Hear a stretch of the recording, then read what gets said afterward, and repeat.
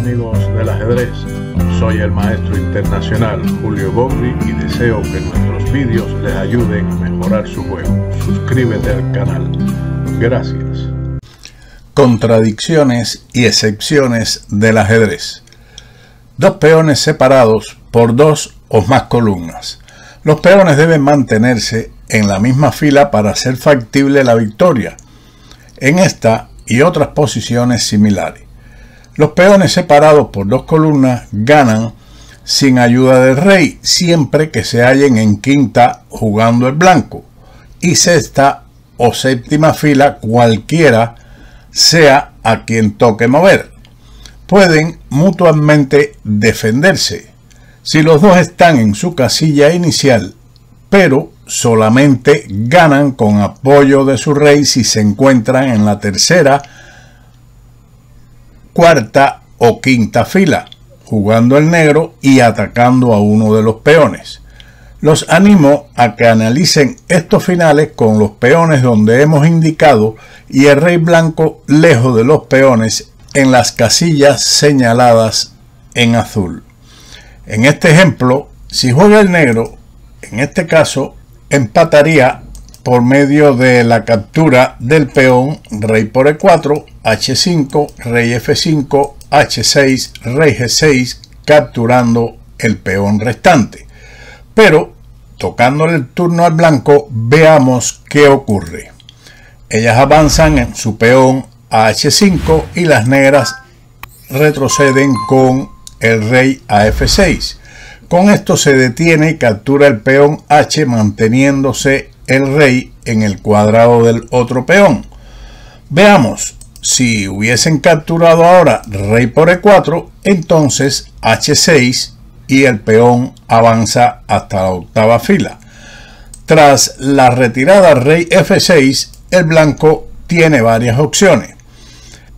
Por ejemplo, e5 jaque el avance de cualquier peón ahora conduce al empate como en este ejemplo E5, rey por E5 sin temor a nada porque el rey está dentro del cuadrado del peón, pero si movilizamos el rey entonces gana jugando rey H2, rey G5, rey G3, rey por H5, rey F4, rey G6 rey e5, rey f7 y rey d6, con un final de rey peón contra rey teórico ganador.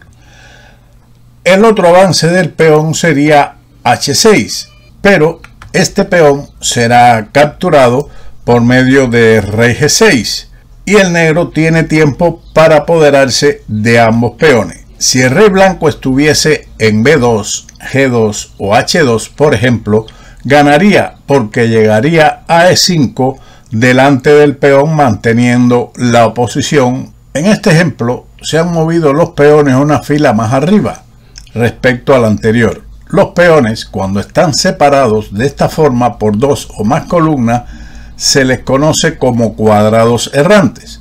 Lo mismo sucede cuando están en la tercera fila. Pero tratándose de los peones que se encuentran situados en la segunda, ninguno puede ser capturado, ya que su compañero, al avanzar dos casillas, queda fuera de la acción del rey del adversario. Sin embargo, sería fatal para los peones si se le moviera antes de que su rey pudiera apoyarlos. Cuando están en la quinta fila, jugando el blanco, uno de ellos debe coronar.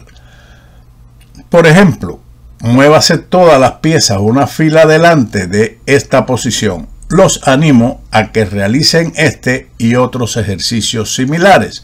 Les ayudará en la comprensión de este tipo de finales de peones. Si les tocara mover a las negras, capturarían el peón y aún tendrían tiempo suficiente para volver a apoderarse del otro.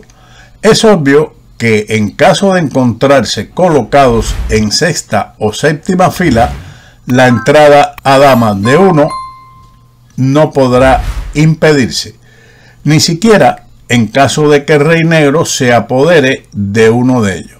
Si en esta posición jugasen las negras, por ejemplo, con la captura rey por e5, h6, rey f6, h7 y rey g7 capturan el otro peón. En caso de que sea el blanco el que juegue, avanza su peón a h6 y gana el final con rey f7. Y ahora e6 para alejar el peón h, pero también ganaría el avance directo h7, rey g7, e6, rey por H7 y E7 promoviendo.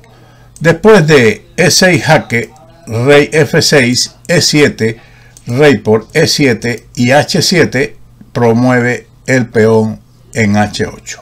Veamos este otro ejemplo, donde los peones están separados por tres columnas y en este caso fuerzan la coronación a menos que se encuentren ubicados en la tercera o cuarta fila y el negro juegue y capture uno. Es de hacer notar que si no se encuentran en la misma fila, la partida en ciertos casos será tablas. Veamos primero qué ocurre si es el blanco el que juega. H4 tenemos entonces dos cuadrados errantes como habíamos mencionado. Sigue rey de 5, H5, rey E6, D5. Este es otro ejemplo de dos cuadrados errantes. Rey E7, H6, Rey F7 y D6. Donde el negro podrá capturar uno, pero no evitar la promoción del restante peón. Si se captura el de peón H por medio de Rey G6, entonces el de D6 promocionará. Y es similar si el negro captura el de D6 jugando rey E6, entonces el de H7 llegará a la octava fila. Pero en caso de que jueguen las negras, está claro que rey D5 permite capturar el peón de dama y llegar al otro obteniendo el empate. Después de H4, rey por D4, H5, rey E5, entrando en el cuadrado del peón y capturando el mismo posteriormente. Los peones que se hayan apartados cuatro o más columnas entre sí fuerzan la entrada dama en cualquier posición sin la ayuda del rey. También deben mantenerse en la misma fila. Puede comprobarlo creando sus propias posiciones para un estudio y comprensión mejor de estos finales.